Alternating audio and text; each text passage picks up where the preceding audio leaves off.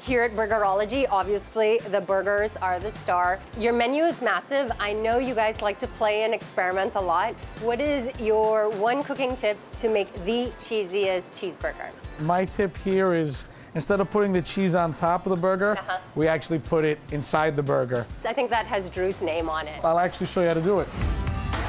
Take the patty, All right, grab it, just flatten it a little bit, okay. and just cut the burger Oh, you half. do cut it. Yeah, I was trying to figure out. half. I was like, do you cut it in half or do you just fold it? Just like that. Perfect, right down the middle. All right. Now make it as much of a circle as you can. Some people like to roll it in their hands like a meatball. Some people roll it on the cutting board. The thinner the better. And I'll show you, once the cheese goes in, the key is to have no creases. I was just gonna say, because you don't want that seam running around, right? If it runs around, the cheese is coming right out.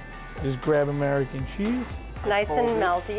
just put it right in the middle. Press down a little bit. You can use this tip for other meats and cheeses as well, right? Yeah, I mean, some stuff we've done before. We kind of did a pizza burger. We put uh, mozzarella cheese and we diced up pepperoni. So same concept now.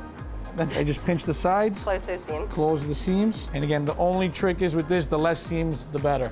Then just press, flip it over, press, do it again, two, three times, and you should have the perfect burger. What do you think, chef? I think it's ready to be cooked, honestly. Lovely. And now we're gonna cut into this Juicy Lucy. You ready? Yes. All right. Cheers. Oh. Mm. oh my God. All the juices falling out. This is incredible, super cheesy. Thank you, Chef John. I cannot wait to take this tip back to Drew.